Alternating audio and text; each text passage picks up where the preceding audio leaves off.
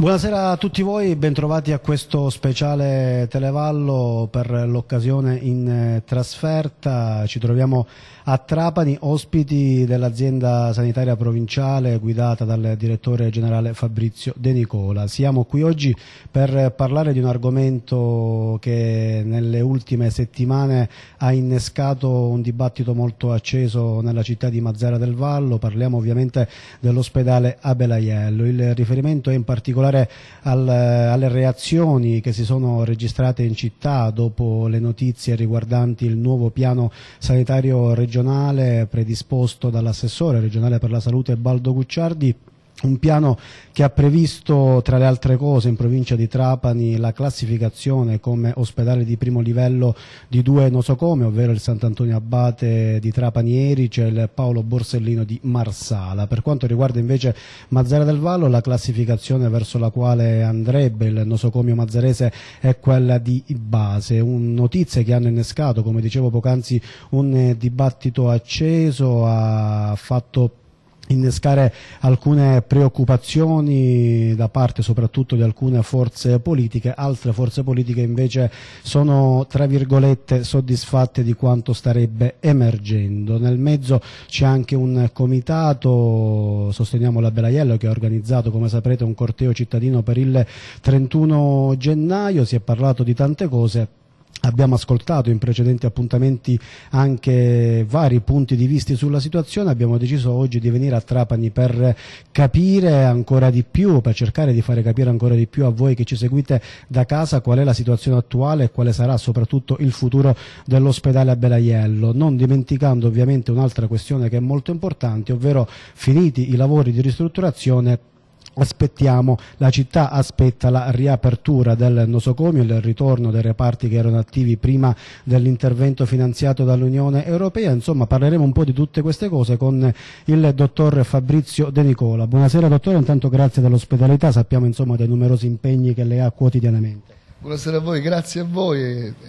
un saluto a tutti i telespettatori. Allora, direi di prendere subito di petto la, la questione, è inutile fare eh, giri di parole su quello che è accaduto. Lei sa meglio di me, tra l'altro in qualche occasione, in un paio di occasioni è intervenuto su questo dibattito con un comunicato stampa anche congiunto con l'assessore Gucciardi per fare un po' di chiarezza.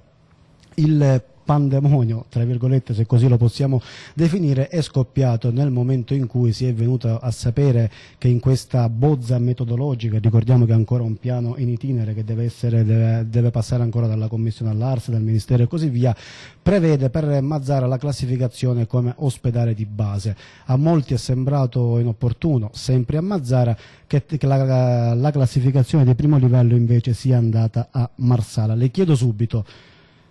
è una scelta obbligata, ci sono criteri oggettivi che hanno portato a tale differenziazione o si è trattato comunque alla fine pur sempre di una scelta politica? Allora, intanto vi ringrazio perché questo mi consente di fare l'ennesima operazione verità su Mazzara del Vallo, anche perché lei ha detto giustamente il termine pandemonio, lei ha buona memoria come me, io sono quasi qua da otto anni, pandemoni a Mazzara ne abbiamo assistiti parecchi e spesso sono stati assolutamente non dei pandemoni. Ricordo quello primo, quello di sette anni fa, otto anni fa, in cui si mise in dubbio addirittura l'esistenza di questo ospedale. Eh, scoppiò un pandemonio perché l'ospedale non per scelta politica, per scelta assessuale era stato chiuso, era stato chiuso perché c'erano problemi seri di stabilità e di sicurezza che voi ricordate che determinano poi non un pandemonio ma addirittura invece quello che poi è stato, e ne parleremo nel corso della trasmissione, un'eccellente dimostrazione di buona amministrazione, cioè la creazione di un finanziamento utilizzato e la realizzazione di un ospedale che apriremo. Quest'altro pandemonio, degli altri poi ne, ne sicuramente avremo modo di eh, riapprofondirli, non è un pandemonio, intanto mi consentirà di dire, perché questo deve essere chiaro ai cittadini, ai cittadini mazzaresi, come quelli della provincia di Trapani, che la scelta e la classificazione degli ospedali è già qualcosa che mi lascia perplesso, perché classificazione degli ospedali non c'era mai stata in Sicilia. E questa classificazione che viene definita come penalizzante o vincente è qualcosa che in ogni caso, e questo ci tengo a dirlo, non è una risposta e non ne attiene alla competenza di un'azienda sanitaria, non, non, fa certamente, ed è una proposta in itinere che eh, il governo regionale e l'assessore eh, con interrogazioni continue facendo con il eh, Ministero, con il Ministero della Salute, proprio perché il Paese Italia, non soltanto la regione siciliana, ha bisogno di una rivisitazione delle strutture ospedaliere e non per un problema, voglio chiederlo ai cittadini per l'ennesima volta, non un problema di risorse economiche, non c'entra nulla, non è un paese, l'importanza di questo paese che ne fa uno eh, forse tra i, i primi tre per offerta sanitaria eh, sta a dimostrare come, eh, peraltro lo fa con risorse economiche che il Paese Italia ha minori rispetto a quelle dell'Unione Europea. Noi spendiamo meno in termini assoluti, in termini percentuali di PIL rispetto a quello che, che spendono gli altri Paesi per la sanità. È un problema di sicurezza e di garanzia dei cittadini e, dei, e di chi ha necessità dell'offerta sanitaria, perché si basa essenzialmente su due nuovi concetti, che sono quello della, della tempo dipendenza e dell'emergenza urgenza, che ha un concetto molto chiaro, e cioè tramontata il periodo, perché se qualcuno ancora pensa questo è veramente fuori tempo massimo,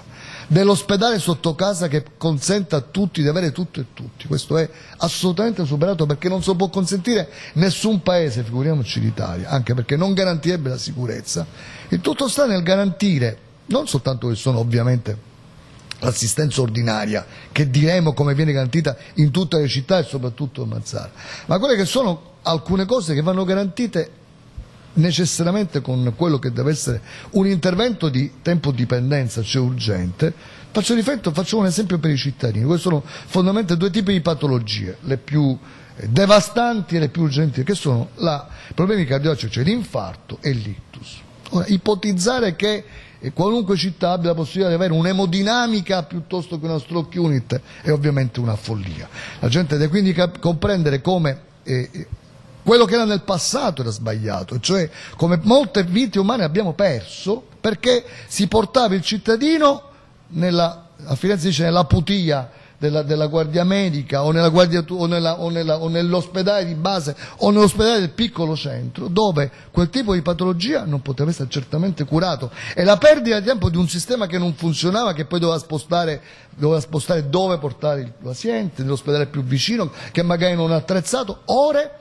che determinavano spesso non soltanto l'evento morte, ma certe volte l'evento anche grave, non mortale, che era perché quando interviene ovviamente nei confronti di un infarto o di una stroke unit nell'ora, nell'ora e mezza, nelle due ore necessarie affinché la malattia si cura, questo è inevitabilmente devastante per il cittadino. Allora viene ricreato un sistema nel cui hub di secondo livello ne avremo soltanto pochissimi in Sicilia, perché è chiaro che quel soggetto, ma neanche a Trapani verrà probabilmente portato, o meglio verrà portato a Trapani nel caso in cui le modifiche lo consente, ma per altri tipi di patologie andrà nell'hub di secondo livello. Parliamo di cittadini occidentali, tutt'altro discorso farei se fosse a Siracusa, a Ragusa o a Messina, che sarà, eh, che sarà il policlinico o sarà Villa Sofia Cervello di Palermo. Ecco, in questa idea delle si, ovviamente si inseriscono altri fattori che la gente non sa e che devono essere informati, cioè la strutturazione di un eccellente impianto del 118 che oggi stiamo continuando stiamo,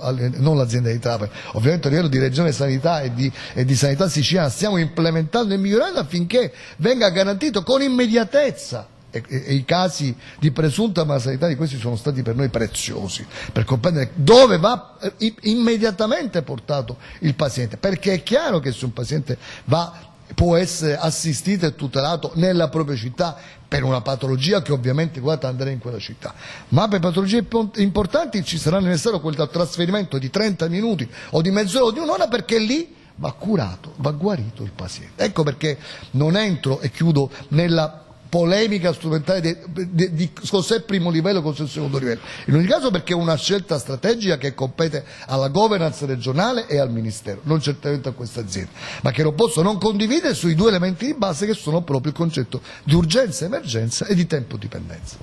Una delle questioni che è stata sollevata in queste settimane è il fatto, al di là della vicinanza tra gli ospedali di Marsala e Trapani, c'è poca distanza, sul fatto che eh, secondo il decreto ministeriale 70, il famigerato, famoso decreto ministeriale 70, un ospedale di base avrà o potrebbe avere soltanto quattro reparti. Chiariamo anche questo aspetto a chi ci ascolta da casa. Sì, vorrei usare un termine forte, una sciocchezza, perché, perché questo è veramente da definire, una, perché bisogna essere chiari e studiare.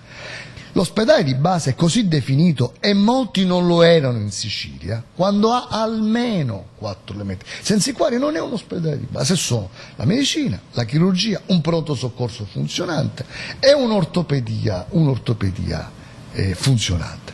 Questi sono gli elementi che fanno definire in quell'elemento almeno l'ospedale di base. Ma quando abbiamo più volte anche citato e determinato quali al tante altre discipline ha e avrà Mazzara o ha o avrà Castelvetrano o avrà l'Alcamo è a dimostrare che quelli sono quelli senza i quali l'ospedale non può essere definito di base ma Mazzara ne avremo ben, ben altri abbiamo comunicato e non ci tornerei perché sapete che avremo, avremo l'oncologia avremo, cioè, tutte le altre discipline che saranno presenti all'ospedale di Mazzara che ne faranno un ospedale molto più importante di quello che era e che è stato ma questo vale per, per l'intera rete ospedaliera, dove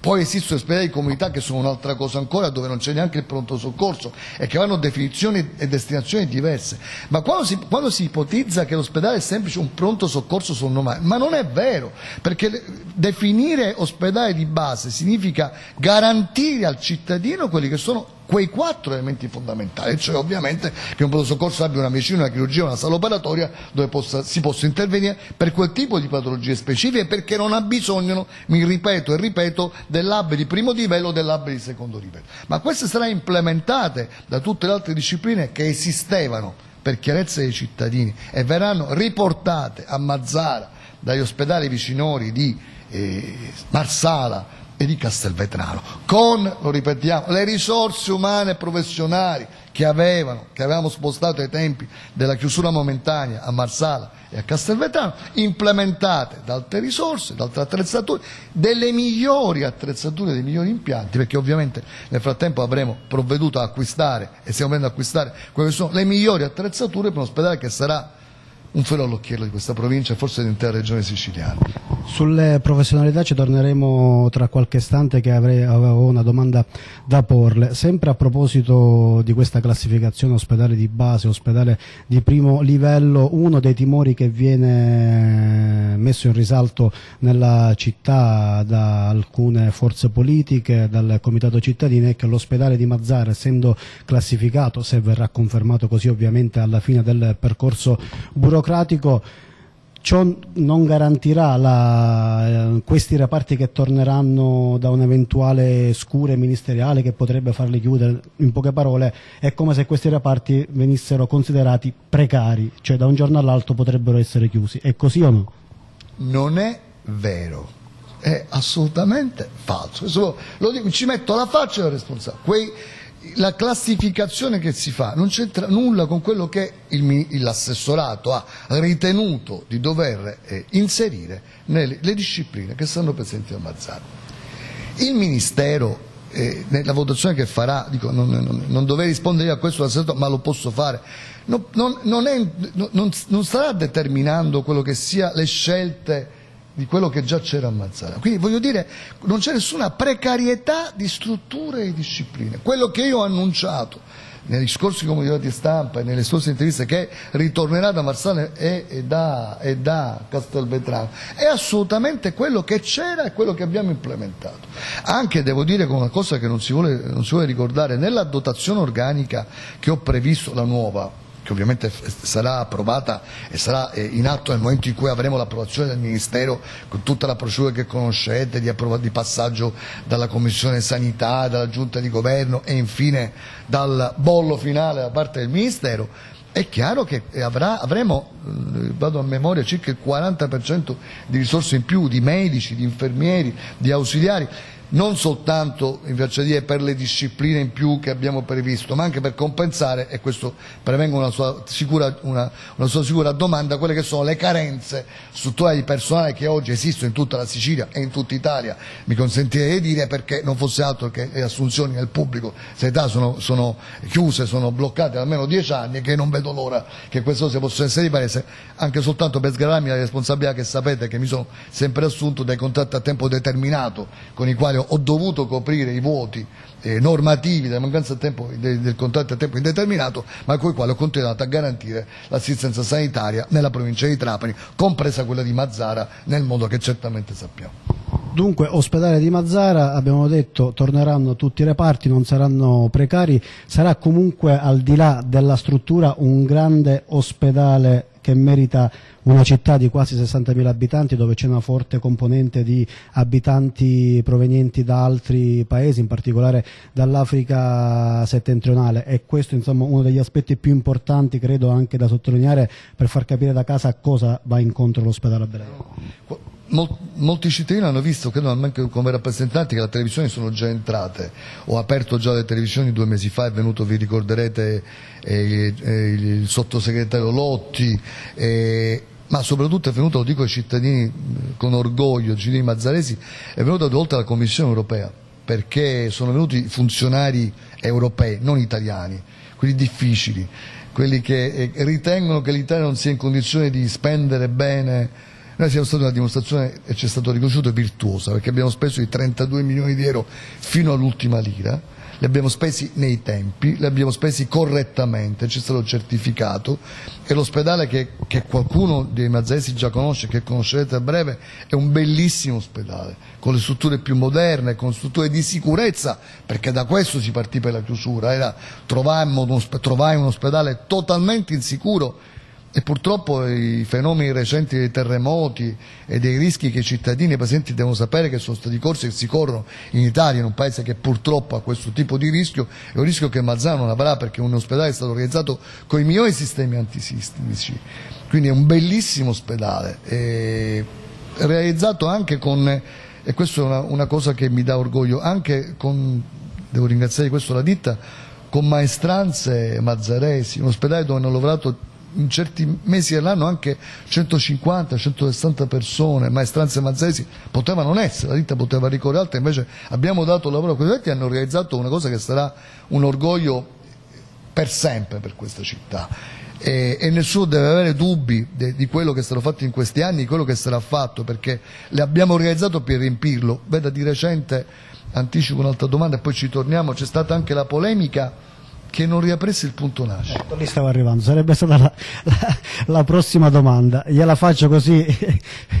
eh, tagliamo la testa al toro. Ricordiamo cosa è accaduto intanto qualche anno addietro,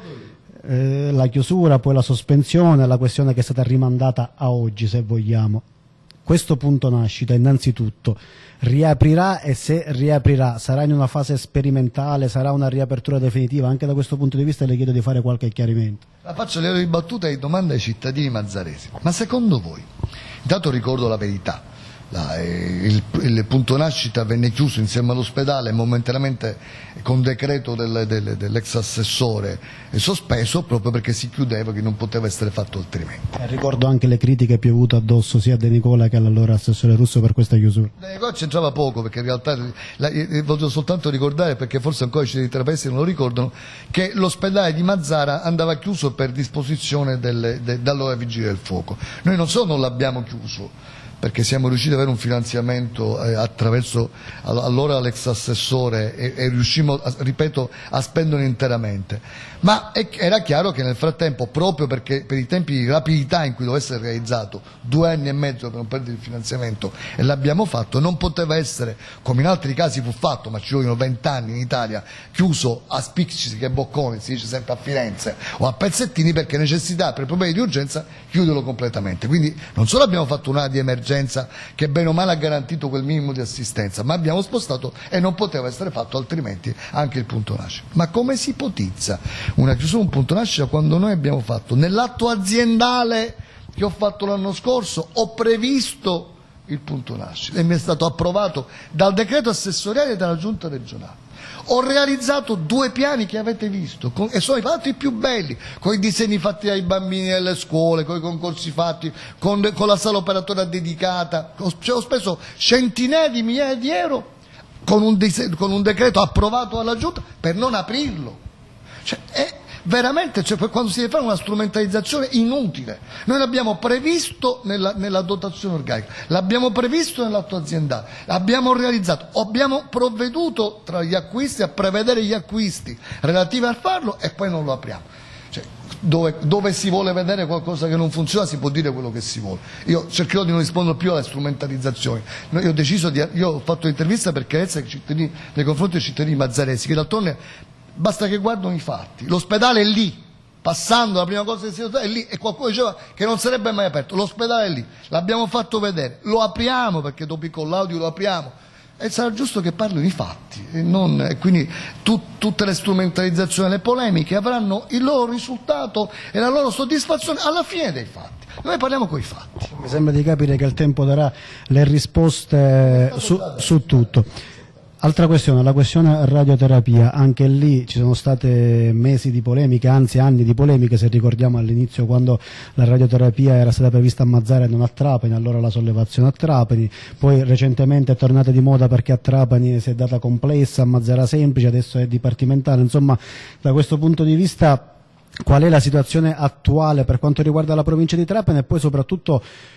in che modo sta procedendo l'iter per arrivare all'attivazione di questo macchinario che è davvero atteso da tanti? Allora, eh, anche la chiarezza. Allora abbiamo assistito a una, a una manifestazione a Trapani perché fu aperta a Mazzara, ritenendo che Mazzara non fosse adeguata. Ora ne abbiamo due, dovremmo essere soddisfatti, ma c'è un motivo di insoddisfazione per cosa riguarda struttura complessa semplice. La verità è che avremo due radioterapie, la prima certamente quella di Mazzara, perché lo voglio dire ai cittadini, è pronta, abbiamo le attrezzature, sono state collaudate e le abbiamo già pronte. E dico ai cittadini trapanesi che nella riapertura dell'ospedale, i collaudi finiscono mese, tra il mese di marzo e aprile, la prima cosa che apriremo al pubblico, la prima cosa, oltre ovviamente al pronto soccorso e quello che sono le attività vicine dell'area di emergenza che erano spostate, è proprio la radioterapia per la quale, dico ai di Trapanesi, attrezzeremo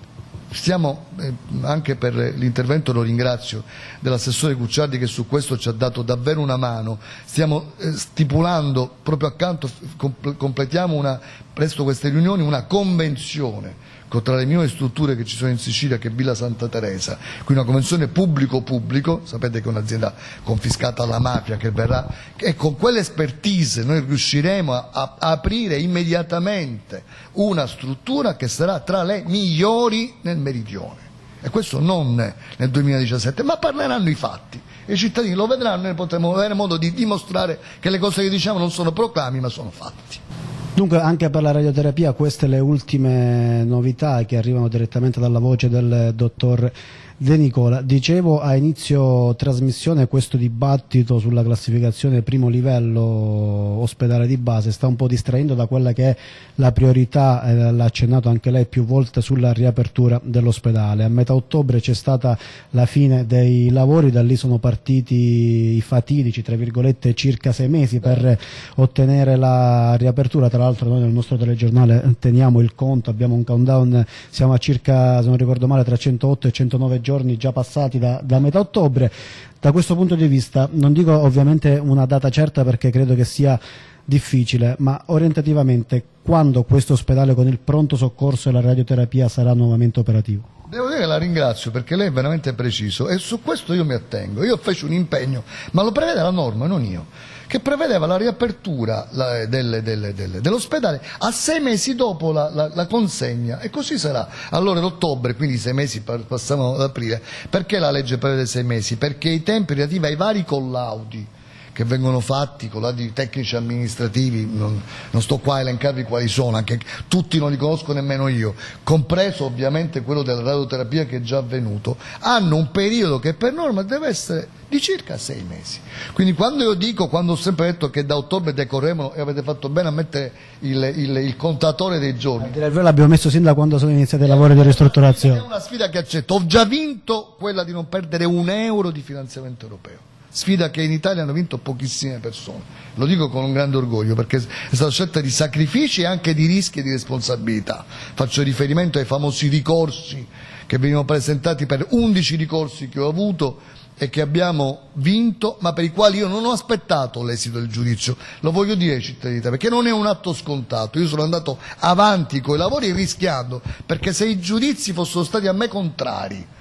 perché avessero determinato che aveva ragione la ditta che ricorreva, io non solo avrei, avrei, perso il ricorso con responsabilità personale da non poco conto, ma avremmo perso il finanziamento, che avremmo perso in ogni caso se avessi aspettato il giudizio. Quindi noi siamo andati avanti confiando sul fatto che certamente i nostri atti amministrativi non corretti. Questo per dirvi che le, le, sfide le abbiamo già vinte, questa del finanziamento del, dell'utilizzo di tutta la somma e non perdere un euro è una sfida vinta e sarà una sfida vinta quella di dire che entro sei mesi Ovviamente i tempi saranno quindi tra fine, non ho la data precisa, probabilmente l'avrò nei prossimi giorni, fine marzo, prima di aprile e dico subito ai cittadini che sarà ovviamente una logica di questa azienda, così come fu caratterizzata allora, vi ricordate, l'abbiamo fatto insieme questo programma, lo ricordo l'intervista, e cioè la chiusura a, a, a, pezzi, la riapertura a pezzi, perché è chiaro che io inizierò certamente da un pronto soccorso e da quello che è in area di emergenza, i, i servizi, i laboratori di analisi, la radiologia, quello, per poi immediatamente, ripeto, la radioterapia e poi anche per, per dare meno fastidio e meno, meno meno difficoltà ai pazienti e anche agli operatori, ci mancherebbe ai nostri operatori sanitari a tutto tondo, parlo dei medici, degli ausiliari, degli infermieri e degli OS, uno spostamento ovviamente a, a tempi determinati dei reparti dagli ospedali vicini di Marsala e di Castelvetrano. Lo chiesi all'assessore Gucciardi a ottobre quando venne consegnato l'ospedale in occasione della conferenza quando finirono i lavori, lo chiedo anche a lei. La riapertura dell'ospedale Belaiello e l'assunzione delle nuove professionalità, in che modo e se in modo legato all'approvazione di questo piano sanitario? Nel senso, la riapertura dell'ospedale non è legata all'approvazione del piano, mentre le assunzioni sì. Giustissimo. Le, la riapertura va per i fatti suoi, quindi i, i reparti che noi eh, avevamo eh, non c'entra niente con, con, con l'approvazione, che l'approvazione ovviamente attiene a una logica ovviamente anche relativa all'incremento di, di, di, di, posti letto che Trapani per fortuna ha avuto, la provincia di Trapani, e, e le assunzioni determinate a tempo indeterminato, perché veda, e, e, come lei sa il Ministero ha, ha, determinato, ma non soltanto nei confronti della regione siciliana, lo fece in conferenza Stato-Regione, nei confronti di altre regioni, alcune sono più indietro di noi, molte sono più indietro di noi, solo alcune sono più avanti di noi, di legare tutto il processo assunzionale a tempo indeterminato, finalmente ovviamente l'approvazione di questo nuovo sistema, l'ho detto all'inizio, di quelle due presupposti che ho determinato la, la classificazione della rete che sono la, la tempo dipendenza e, e la rete dell'urgenza emergenza. Su questo certamente sarà determinante l'approvazione, il visto finale come lo chiamo io da parte della, del Ministero per poter poi procedere ovviamente alle assunzioni e quindi alle implementazioni anche delle attività anche nuove. Che la radioterapia eh, tutto questo sarà agevolata dal processo convenzionale che sto facendo perché non determinerà ovviamente l'assunzione di nuove risorse, una cosa che provocherebbe una perdita di tempo. Anche per questo siamo andati nella direzione della convenzione. Poco fa parlava dei tempi record nella realizzazione di questa struttura, nella ristrutturazione dell'ospedale Abea Proprio da notizie di stampa, dalla, da un'operazione condotta dalle forze dell'ordine, si è preso anche di un tentativo di infiltrazione mafiosa in questi lavori, ovviamente che essendo multimilionari hanno un po' attirato l'attenzione di certi ambienti. Anche da questo punto di vista insomma, ne siete usciti. Siamo, siamo usciti bene, io devo in questo ringraziare davvero le forze di polizia tutte, la procura e la prefettura, noi realizzammo un protocollo di intesa, un protocollo di legalità che in realtà da noi a Trapani esiste anche, anche, per altri appalti, ma quello fu particolarmente importante perché ci permise di mettere insieme le conoscenze, di capire quali erano le ditte eh, blacklist, le white list, quelle che sono è, ci ha consentito eh, certe volte in un territorio, quello siciliano, parlo generalmente abbastanza complicato, di andare avanti. E io credo che di questo il merito sia dato esclusivamente a chi ci sarà accanto, la prefettura e le forze dell'ordine che hanno, che hanno garantito, hanno tutelato, hanno, hanno eh, hanno controllato e hanno verificato e, e, per fortuna le cose sono riuscite anche per merito loro e di quel protocollo che oggi credo che sia un esempio veramente virtuoso di come si possa la pubblica amministrazione a tutti i livelli eh, quella che deve controllare, quella che deve operare, eh, riuscire anche in settori particolarmente interessati anche alla criminalità.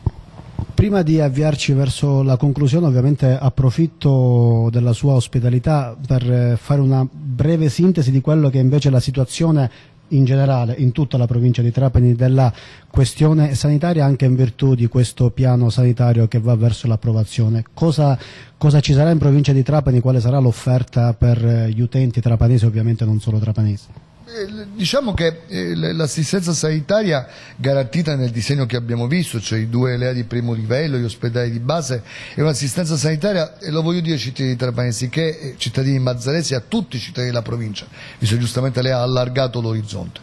È un'offerta sanitaria completamente diversa dal passato. Vedete, l'offerta sanitaria fino a dieci anni fa è un'offerta ospedalicentrica, cioè si basava, si credeva che la forza di una provincia, di un paese fosse, dipendesse tutto dal tipo di ospedale, non è più così. Eh, non vorrei tediare i cittadini, ma l'innalzamento dell'età media ha cambiato anche molto il tipo di, di malattie. Le, le, famose malattie croniche che, di cui, oggi, oggi sono molto più importanti e molto più diffuse, molte delle quali non abbisognano più di un ricovero ospedaliero, se non nella fase acuta, ma nella fase, nella fase non acuta eh, hanno bisogno di una presa in carico del paziente che può avvenire, che deve avvenire in un territorio forte, in un'assistenza territoriale, che può arrivare in alcune malattie, parlo da demenza senile, parlo del Parkinson, parlo di, di, di, di alcuni casi di patologie a casa con, con un'assistenza domiciliare. Ecco, inve aver investito questa azienda milioni di euro in quello che è l'assistenza diversa da quella ospedaliera, ma non perché è meno costosa, perché più adeguata rispetto a quella più corretta e più efficiente, fa sì che questa, questa azienda può oggi dire di avere un'offerta sanitaria anche rispetto alle altre province siciliane, ci viene attestato, che è più completa, che va dall'ospedale al territorio, all'assistenza domiciliare e altre cose faremo, perché noi martedì, eh, martedì, mattina inauguriamo eh, il, primo, eh, il, primo, il primo SPOC di un'assistenza ai neurolesi che oggi faceva soltanto l'Istituto di Eccellenza di Messina. La provincia di Trapani, diciamo a Salemi, quindi vicinissima a Mazzara, sarà la prima la prima città in Sicilia che aprirà un centro dove noi potremo assisteremo i neurolesi, cioè patologie molto complesse di soggetti che hanno avuto incidenti, che hanno, avuto, che hanno oggi patologie lunghissime, che anziché trasportare questo elemento di, di, etica e di miglioramento della provincia rispetto anche a Palermo,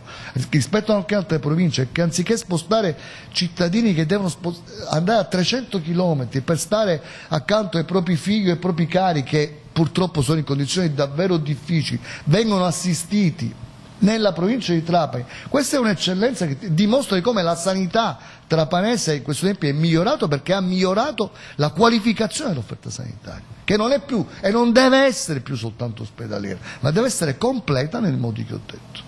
Bene, era doveroso fare anche questo passaggio più in generale sulla sanità in provincia di Trapani. Dottor De Nicola, noi ci avviamo verso la conclusione di questo appuntamento televisivo sperando di aver eh, fatto ulteriore chiarezza con i cittadini che ci seguono da casa. Lei sa che giorno 31 gennaio, martedì prossimo a Mazzara ci sarà un corteo cittadino promosso da un comitato che si chiama Sosteniamo l'ospedale a Belaiello. Sa, saprà le motivazioni che hanno spinto questo comitato a promuovere questa iniziativa. Lì c'è la telecamera, lì ci sono i cittadini di Mazzara che la stanno seguendo, le posso assicurare che sarà seguitissima questa trasmissione. Cosa si sente di dire loro anche in vista di questo corteo? Io ho massimo rispetto di tutte le opinioni e di tutte le posizioni. Non avete mai visto entrare in strumentalizzazione tranne quello della difesa dei fatti. Mi sono cittadini mazzaresi sempre, sempre limitato e nei consigli comunali in cui sono venuto, lo ricorderete mettendoci la faccia, anche consigli comunali lunghi 4-5 ore eh, e nelle, negli interviste e nei miei interventi in ogni caso a Mazzara e nei vostri confronti a dirvi che parlano i fatti. L'ospedale è lì, l'ospedale sta riaprendo, l'ospedale sta riaprendo con le cose che ho detto. Io non è una polemica, non ricordo eh, comitati o cortei quando Mazzara perse 15 anni fa, 12 anni fa, non ricordo, il finanziamento che vedeva un ospedale e che ha visto rischiare di perdere per sempre quei soldi per Mazzara.